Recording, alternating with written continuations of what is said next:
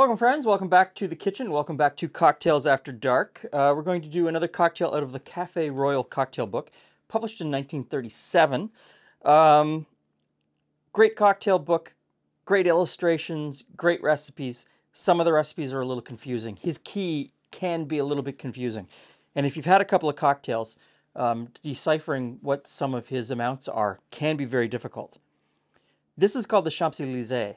It is a cognac and chartreuse drink that calls for sweetened lemon juice, but there's no mention of what sweetened lemon juice means. So I'm just going to take a bar spoon of superfine sugar and put it into the bottom of each shaker and then use the appropriate amount of lemon juice and hope that we get it right. So an ounce of lemon juice in each shaker.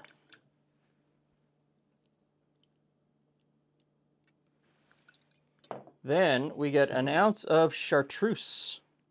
Um, I'm using green chartreuse because that's the only one that's available where we live. There is a yellow version of chartreuse. Limited availability. Different flavor profile. And so in this one, I'm going to use cognac, a, a French cognac. So we need a couple ounces of that. And then, just for fun, I'm going to use an American brandy. Um, brandy and cognac, essentially the same spirit. Cognac just has a better marketing department.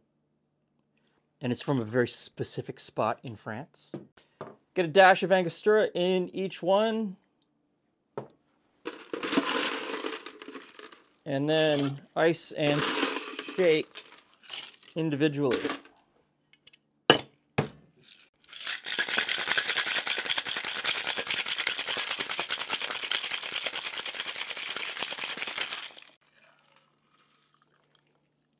And this is the one I believe is brandy. Slightly different color. Hey, Glen. Hey, Jules. Hi, friends. What do we have today? Champs-Élysées. Oh, look at us traveling around the world. Yes. So, um, this one is cognac, and this one is brandy. Huh. Okay. I understand. Okay. Good choices. All right.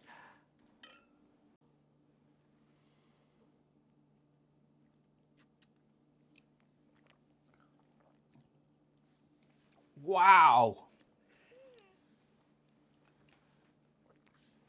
There's a lot of flavor there. There are a lot of flavor. There's a lot of flavor there.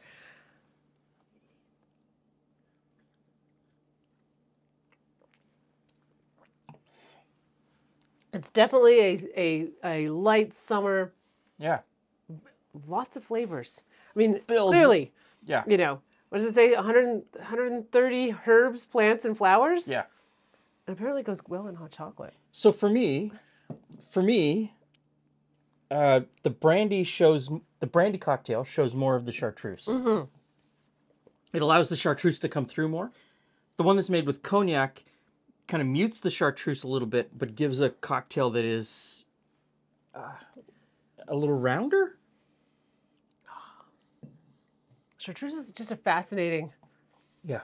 like it just, the smell, the sweetness. I'm gonna say for me, I prefer the one made with the with the, brandy. brandy? Yeah, because I really like chartreuse. Do you like the one with the cognac more? No, I do like the one with the brandy more. Yeah. So mm. But I just want to add, as much as I say more, I would I would drink either. I would drink either of. It, if I if I went to a bar and they said, "Oh no, I'm I'm sorry, sir, we don't have any brandy. we don't have any brandy. We only have cognac." Because, you know, what bar are you going to that doesn't have any brandy? I don't know. But if they said, "Oh no, I'm sorry, we only have cognac," I I would say, "Okay, sure, make me a make oh, I can we'll muddle through. okay." I can make it." but if I was making this at home for myself, I would use the brandy, with the chartreuse. But of course, other brandies. Everything changes it. everything right? A changes different it. brandy would change that flavor. And then if you use the different chartreuse, There's only one chartreuse. the yellow chartreuse. The Oh, the yellow chartreuse. Yes, if you use the yellow chartreuse, it would be different again. Uh, you use a different cognac, it would be different again. There are some brandies that drink more like cognac and some cognacs that drink more like brandies, even though they're all the same category. Oh. they're all the same thing. The It's stress just- of making cocktails. I know. Whoa. I guess I'll take my stress away by drinking that Finishing one. that up. Thanks for stopping by. See you again soon.